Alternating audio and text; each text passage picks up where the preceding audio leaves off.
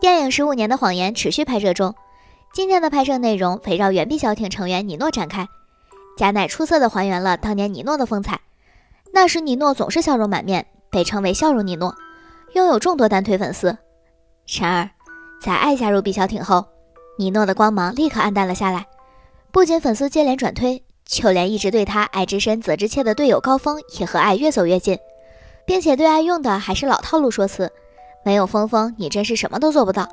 这样下去是嫁不出去的。”脸长得这么漂亮，人气也这么高。那就别连属于我的东西也都抢走了。就这样，这一阶段的拍摄在尼诺嫉妒的台词中结束。而作为故事原型的尼诺和高峰二人今天也来到了拍摄现场。如今的高峰已经当了妈妈，但性格和当年似乎没太大区别。他笑嘻嘻地表示，原来自己之前是这个样子，并解释说自己虽然确实会对大家指指点点，但都是出于百分之百的爱意。随后态度强硬地询问身后的尼诺：“是这样吧？”并斥责他不要站那么远，过来好好站直一点。千尼诺与曾经一样唯唯诺诺地走过来后，又笑着表示能让赤音这种大美女演自己可真是荣幸。看着两位性格和过去如出一辙的前辈，梅姆也不禁感慨了起来，满眼憧憬地感谢他们特地跑来参观。高峰也大方地自嘲说自己和尼诺不过是两个擅自跑来打扰的大婶儿，根本不值一提。看着相谈甚欢的二人。阿奎亚询问露比要不要过去打个招呼，毕竟露比和梅姆一样都是毕小挺的铁杆粉丝。露比则回答说，招呼刚刚已经打过了，自己虽然喜欢毕小挺，但也没有狂热到人人都推的地步，并坦言他对这两个元老成员没什么兴趣。换作是梅梅或者 Q 胖来的话，倒是会很激动，便被阿奎亚吐槽说的太直白了。医生，你也是知道的吧？妈妈和毕小艇究竟是什么样的关系？正因如此。才会写出那样的剧本吧？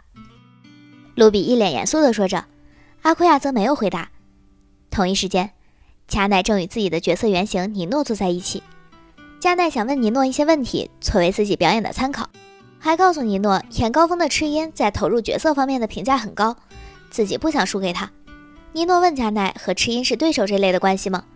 加奈则别扭地表示，大概是有点这样的感觉。听闻此言，尼诺不禁感慨，这样挺好的。还说当初的毕小艇并没有这样的关系，因为谁都无法成为爱的竞争对手。虽说沾了爱的光，他家的曝光率水涨船高，各自也都用自己的方式努力，但即使如此，那种感觉依然很难受。听到这里，加奈想起了在偶像事业上越走越远的露比，随后与尼诺共情了起来，坦言自己明白这种感觉，并询问尼诺之前是不是讨厌爱。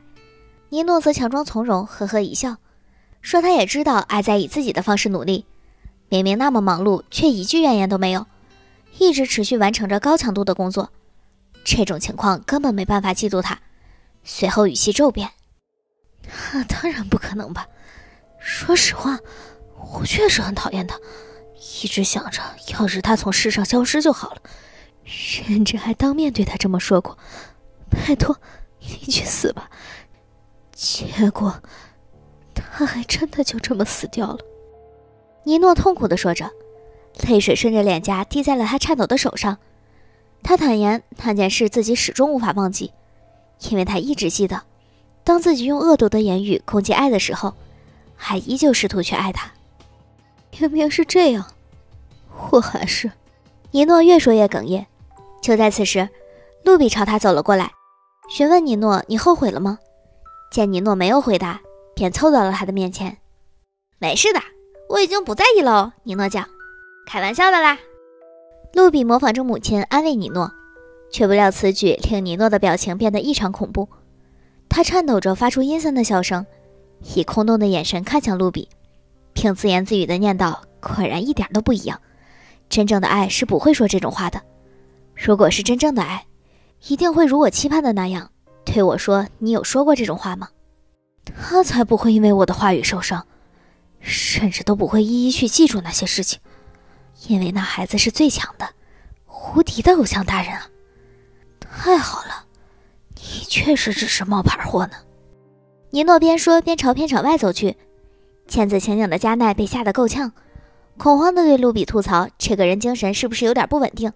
我接下来非得去演他不可吗？”露比则看着尼诺离去的背影，若有所思。离开片场后，尼诺接了一个电话，并告诉电话里的人，露比和爱确实不一样。果然，爱是独一无二的存在，从今往后再也不会出现第二个他。这下我也真的安心了。毕竟，如果真有能超越爱的人存在，就算是他的女儿，也绝对不能允许，不是吗？没错吧，沈目光先生？